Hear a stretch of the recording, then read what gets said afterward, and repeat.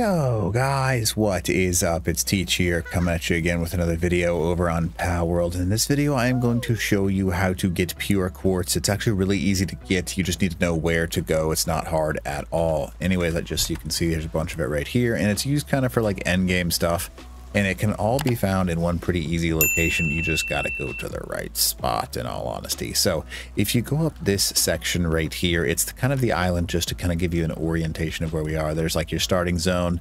Up in the middle is where you get to some of the more difficult areas. You can see it's the cold shore.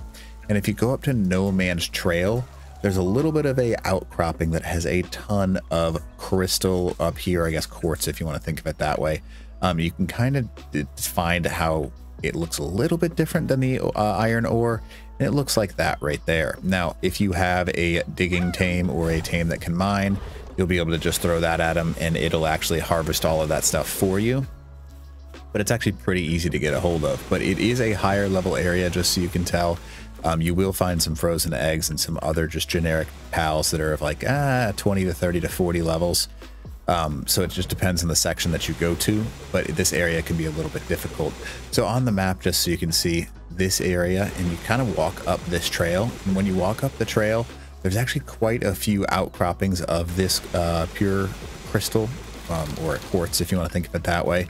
And uh, it's really easy to gather. And I mean, obviously I'm literally one in and I've got 32. So uh, not too shabby. So it's actually pretty easy to get a hold of. It, late game, you can build a base on this side, but um, it can be a little bit unforgiving just due to the higher levels of everything over here.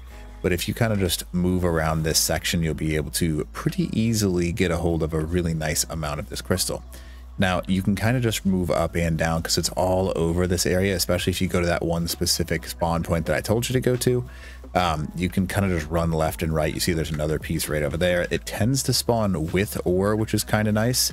And again, there's higher level stuff over here, which can be quite fun as well.